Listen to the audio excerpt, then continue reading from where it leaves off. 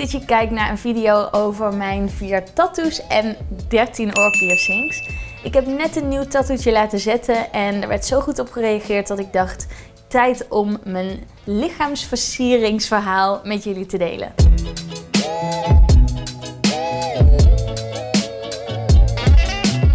Begin bij mijn tattoos en natuurlijk zijn smaken echt verschillend. En ik hou heel erg van hele kleine tattootjes met hele dunne lijnen. Eigenlijk is mijn filosofie dat ik wil dat het eruit ziet alsof het met zo'n hele dunne gelpen van Muji op mijn lichaam is getekend.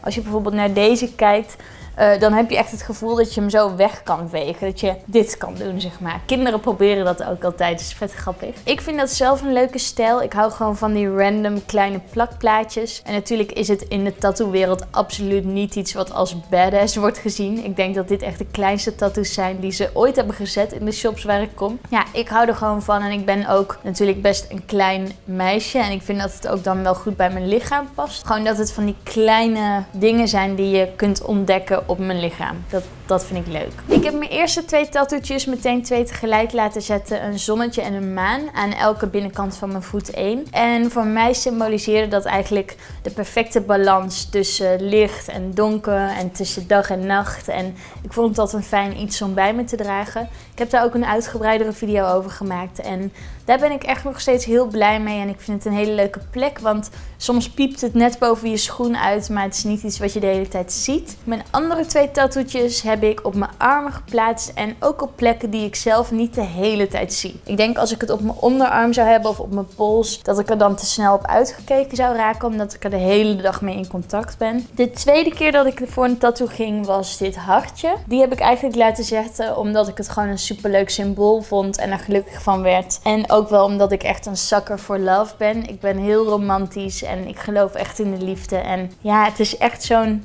typisch hart met een pijl erdoor. En dat wild heart idee vond ik... Uh, ook mooi om bij me te dragen. Dus daarom heb ik die gezet. En die is ook echt heel dun. Hij is een klein beetje aan het uitlopen. Dus ik zal hem waarschijnlijk ooit over moeten zetten. Maar ik vind het ergens ook wel charmant dat je ziet dat het handwerk is. En mijn nieuwste aanwinst, die zit hier net boven mijn elleboog. En dat was echt een mega YOLO moment. Ik heb het ook in mijn verjaardagsvlog meegenomen. Ik was dat weekend met vriendinnen op een bachelor. En ik had al heel lang het idee dat ik een nieuwe tattoo wilde. En iets met een galaxy thema. Omdat ik gewoon dol ben op alles wat met space te maken heeft. En met sterren en planeten. En dat is helemaal mijn ding. Jullie weten het ongetwijfeld als je mijn video's vaker kijkt. En toen dacht ik gewoon... Wat als ik op mijn verjaardag, net zoals dat ik vorig jaar een nieuwe piercing heb genomen op mijn verjaardag, dit jaar een tattoo laat zetten. Dus toen heb ik een berichtje gestuurd naar Joey, wat een van de meest populaire tattoo artists is in Amsterdam. Hij heeft echt mega wachtlijsten. Dus ergens dacht ik ook van, hmm, hij zal vast wel vol zitten. En toen had hij opeens een plekje. En toen dacht ik, ja, dan moet ik ook gaan, want ik vind het vet leuk dat hij kan. En het leek me gewoon leuk om op mijn verjaardag te doen. En mijn vader belde me ook nog in de taxi er naartoe van, dit is echt een slecht idee. Je hebt hier helemaal niet over nagedacht. Hoe gaat het eruit zien? En ik zei, ja, ik weet het niet precies, maar we kijken wel even in de shop. oh, en die taxichauffeur die zat ook zo te lachen. Het is natuurlijk niet super handig per se om een tattoo heel erg in het moment te laten zetten. Maar aan de andere kant hou ik ook wel van het gevoel wat je er dan in legt. Dat je je gewoon op dat moment zo voelde en het daarom hebt gedaan. En dat vind ik ook een leuke herinnering die ik nu voor altijd aan die tattoo heb. En de reden dat ik voor een ster ben gegaan is omdat ik heel veel dingen las over sterren, zoals Reach for the Stars en Count Your Lucky Stars. En het heeft voor mij gewoon ja, een beetje een magische betekenis. Het is een wereld die zo ver weg is en die tegelijkertijd ook invloed op ons heeft. En ik vind het gewoon fascinerend. Dus vandaar dat ik voor een ster ben gegaan. Ik heb mijn eerste drie tattoos allemaal laten zetten bij Dan. Bij Hollywood Mark zit hij. En ik ben echt dol op Dan. En er hangt zo'n fijne vibe ook in die tattoo shop. Het fijne vind ik dat je gewoon binnen kunt lopen. En of je nou zo'n grote tijger op je rug wil of een piepklein hartje op je arm. Dat maakt gewoon niet uit. Je bent super welkom. Ze nemen mega de tijd voor je. Dus dat ehm,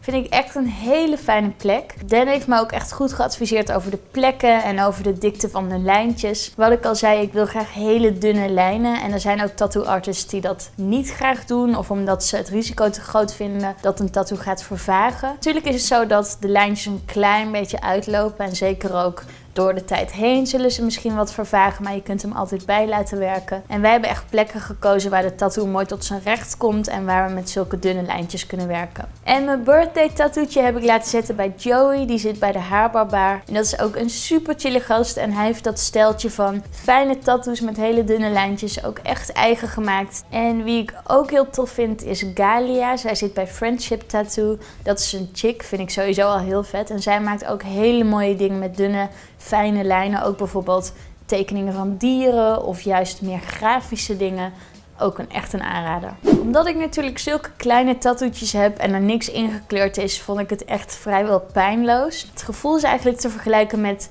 dat je je krast aan iets. Zo voelt het een beetje, maar het is echt... Ik kan me eigenlijk amper meer herinneren hoe het voelt, omdat het zo weinig pijn is. Het is echt, als je zoiets kleins neemt als ik, super goed te doen. Het zetten van mijn tattoetjes duurde denk ik per keer een minuut of twintig. Ik zou het niet eens precies weten. Je bent waarschijnlijk een uur in de shop. Maar het zetten gaat echt mega snel.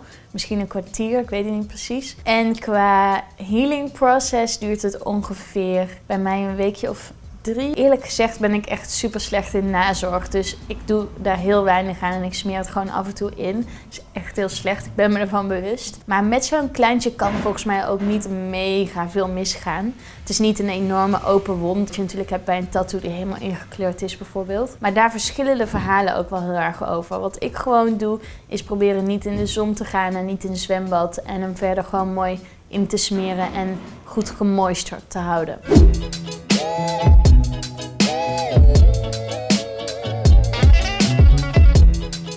En dan mijn oorpiercings. Wat dat betreft ben ik echt helemaal YOLO. En ik knal er gewoon iets in wanneer ik er zin in heb. Soms ook twee tegelijk, tot grote schrik van mijn moeder. Ik vind oren gewoon een super cute, leuk onderdeel van het menselijk lichaam. En er zitten zoveel interessante plekjes en hoekjes in die je kunt versieren. Het is echt waanzinnig hoeveel je in een oor kwijt kan. Je moet eigenlijk voor de grap even op Pinterest zoeken op um, ear piercing placements of zo. En dan zie je alle officiële namen en alle plekken die mogelijk zijn. Dat is echt heel cool. Ik ben ermee begonnen. Eigenlijk heb ik vrij laat pas gaatjes laten schieten. En daarna is er steeds wat bijgekomen. Ik denk dat mijn eerste oorpiercings waren toen ik nog op de middelbare school zat. En het werd toen gewoon bij een juwelier met zo'n pistooltje geschoten. Wat natuurlijk best wel heftig voor je kraakbeen is. En tegenwoordig ook niet meer mag in Nederland. Dat ging ook helemaal ontsteken. Ging helemaal mis. En toen dacht ik, oh, ik kan blijkbaar niet piercings verdragen of zo. En toen ik net in Amsterdam was gaan wonen en een jaar of 18 was heb ik een piercing in mijn oorschelp laten zetten. Dat was deze. Het was best een pittige, want daar is je oor echt super dik. En sindsdien is het hek van de dam. Ik moet zeggen dat toen ik begon met oorpiercings, dat ik eigenlijk vooral dingen tegenkwam bij shops die ik niet zo mooi vond. Dus echt van die lange metalen staven met van die grote bolletjes eraan. En ik ben me echt gaan verdiepen in shops die mooie sieraadjes verkopen en op een gegeven moment kwam ik erachter dat er ook plekken zijn waar je je dus kan laten piercen meteen met een mooi gouden sieraad of iets met een diamantje. En de eerste keer dat ik dat deed was in Amerika bij New York Adorned. Ik kwam toen voor het eerst in contact met J. Colby Smith, wat echt een van de piercing legends van de wereld is. En die ook echt specifieke stijlen, zoals dat kettingje hier in de neusbrug, uh, op de kaart heeft gezet. En hij pierst allerlei toffe celebs. En wat ik zo tof aan hem vind, is dat hij in plaats van dat piercings zo groot en opvallend mogelijk moesten zijn, juist heel erg voor die hele delicate stijl gaat met goud en diamantjes en hele kleine kettingjes. En dat is iets wat ik zelf heel mooi vind. Dus toen heb ik hierboven een piercing laten zetten. En dat is een bloemetje van uh, echt goud met echte diamantjes erin. Dus wat ik inmiddels aan waarde in mijn oren heb hangen is ook insane. Maar ja, ik vind gewoon, je hebt het elke dag in en het zit naast je hoofd. Dus ik wil gewoon dat het van mooie kwaliteit is. Afgelopen jaar was hij in Nederland voor een pop-up event. En toen hebben we dit gouden ringetje er nog in gepierst. En hij komt binnenkort weer terug naar Nederland. Spannend! Ik heb in dit oor zeven gaatjes en in dit oor zes. Ik heb ook meerdere keren wel twee piercings tegelijk laten zetten, want dan schiet het tenminste lekker op. Maar ik moet wel zeggen dat de genezing daarvan ook bijna twee keer zo langzaam gaat. Want je lichaam focust zich dan toch gewoon op één van die twee plekken voor de genezing. En ik heb het idee dat je beter gewoon stap voor stap steeds één gaatje erbij kunt nemen. Ik heb bijvoorbeeld deze twee hierboven tegelijkertijd laten zetten en dit was echt een drama. Ik had het gedaan ook in New York bij J. Colby net voordat ik moest vliegen. En mijn oor was zo opgezwollen en die ringetjes waren net iets te klein volgens mij. Waardoor ik een soort rolladeoor kreeg. Wat absoluut zo is, is dat piercings niet gemaakt zijn voor ongeduldige mensen. Daar werkt het gewoon niet goed bij. Want de genezing is echt wel een maand of drie tot zes. Je stopt natuurlijk toch gewoon een vreemd voorwerp in je lichaam wat er ook niet meer uitgaat. En het enige wat je lichaam wil is gewoon afstoten, afstoten, afstoten. En dat is echt wel heel anders dan bij een tattoo die je gewoon opzet, die dan geneest en dan is het klaar. Met piercings kun je echt anderhalf jaar of twee jaar na het zetten zelfs nog last hebben als je een keer verkeerd op je oor slaapt of zoiets. En ik moet ook wel zeggen dat er eigenlijk geen pijl op te trekken is, want de ene piercing is eigenlijk meteen genezen en heb ik nooit last van en een andere duurt echt maanden. Dus ik heb ook het idee dat het wel te maken heeft met soort van de energie van je lichaam, dus hoe je je op dat moment voelt. Als je fit bent en in goede conditie bent en goed voor jezelf zorgt, denk ik dat je piercing ook beter geneest dan wanneer je bijvoorbeeld heel moe bent en je afweersysteem ook minder is. Wat me het meest gevraagd wordt is waar ik al mijn oorpiercings koop. En dan moet ik eigenlijk onderscheid maken tussen de dingen die echte piercings zijn,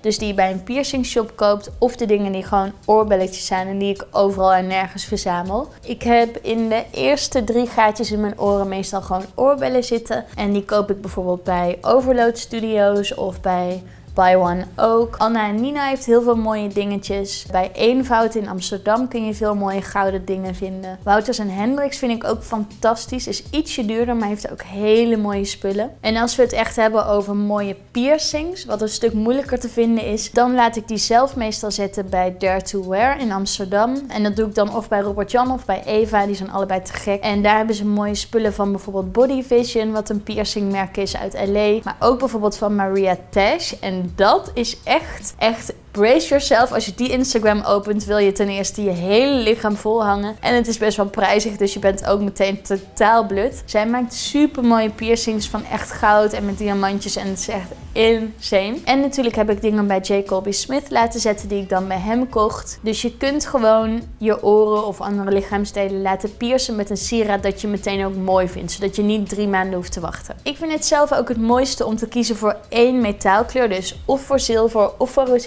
of voor geel goud. Omdat je dan wel kunt spelen met verschillende vormen en stijlen, maar toch een beetje eenheid in zit. Dit is een beetje mijn tattoo en piercing verhaal en ik hoop dat je het leuk vond om te kijken en dat je meeste vragen beantwoord zijn nu. Dankjewel voor het kijken en als je het leuk vindt vergeet dan niet je te abonneren op mijn kanaal, want dan mis je geen één video. En ik hoop je snel weer te zien. Doei!